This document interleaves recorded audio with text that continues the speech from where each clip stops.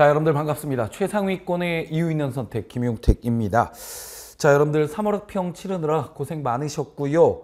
해설 강의를 좀 해보려고 합니다. 해설 강의에 들어가기 전에 잠깐 좀 말씀을 좀 총평 뭐 비슷한 거 말씀을 좀 드린다면 에, 난이도가 좀 있었죠. 특히나 어, 마지막 20번 문제 같은 경우는 계산이 너무 많이 있어야 되는 여러분들 입장에서 시험장에서 이걸 어떻게 계산을 다 하나 뭐 이런 정도의 난이도의 문제가 있었어요. 어, 준연동형 비례대표제까지 해서 우리나라의 현실적인 어, 지금의 국회의원 선거제도를 결부시켰는데 그것이 지나치게 계산이 많다 보니까 시간이 좀 너무 부족하지 않았을까 마지막 문제에서 그런 점은 하나 있고요. 또한 어, 또한 난이도로 봤을 때몇 음, 문제 뭐 예를 들어서 예를 들어서 뭐 7번이랄지요. 그 다음에 또한 어, 7번에다가 그 다음에 17번 정도.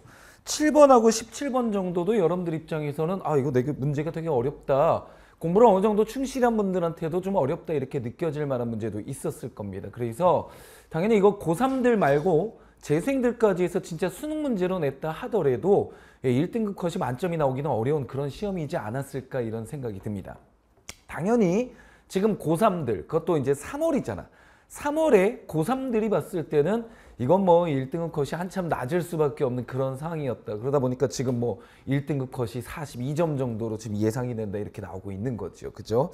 어, 근데 이제 일단 어, 제가 봤을 때는 어, 이게 만약에 이 시험이 한 7월 8월쯤에 치러졌다. 그러면 1등급 컷은 당연히 많이 올라갔을 거라고 생각을 합니다. 그래서 뭐 40한 6, 7점 정도로 올라가지 않았을까 이런 생각이 드는데 현재 어쨌든 고3들의 입장에서 본다면 아직 진도도 다 못 나간 분들도 많단 말이에요. 저도 아직 완강을 다 못했단 말이죠.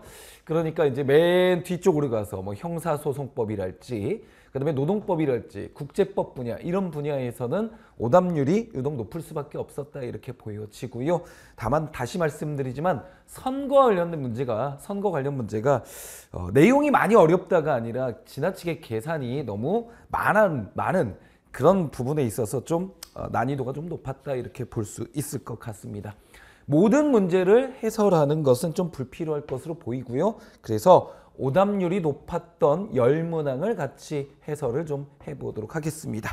자, 오답률이 높았던 열문항 중에 그 시작은 5번부터가 되겠습니다. 저 5번 같이 한번 가보겠습니다. 자, 일단 A에서 C가 사회권, 자유권, 청구권 중에 하나다 이렇게 나와 있습니다. 근데 문제의 취지는 어쨌든 가와 나의 내용을 질문을 넣었을 때 어, 같은 대답으로 묶어라. 어, 그러니까 예를 들어서 가에 인간다운 생활을 어, 요구할 수 있는 권리냐 즉 사회권이냐를 넣었어요 가에다가 그러니까 B, C는 한 묶음 그 다음에 A는 또 따로 나왔죠 그러면 A가 확정이 돼요 여기서 사회권이냐라고 물어봤는데 B하고 C는 같이 묶여 있어 그럼 A가 사회권이란 얘기죠 자, 그 다음에 오른쪽으로 가서 나에다가 국가의 존재를 전제로 인정하는 권리냐 그러면 이건 이제 실정권이냐 이런 건데 여기 사회, 자유, 청구권 셋 중에서 실정권인 건 사회권과 청구권이죠. 그러니까 자유권 하나만 따로 나와 있어야 돼. B가 그래서 자유권임을 확인할 수 있었다. 그러면 C는 이제 청구권이다. 라는 것을 알 수 있겠습니다. 자, 1번 선지. 가에 대한 A의 응답은 뭐였어요? 얘가 되겠죠. 그 다음에 나에 대한 B의 응답은 뭐예요? 아니오가 될 겁니다. 따라서 1번 틀렸다. 자, 2번 C는 역사적으로 가장 오래된 기본권이다. 가장 고전적 기본권은 자유권이죠. 틀렸고요. 3번 A는 B와 달리 헌법에 열거되어야 보장된다. 자, 여기는 사회권이나 청구권 요런 요, 요, 요런 녀석들은 실정권이죠. 실정권. 이렇게 실정권에 해당이 되면 헌법에 규정되어 있기 때문에 보장되는 거야. 따라서 실정권은 100%다 열거적 권리입니다.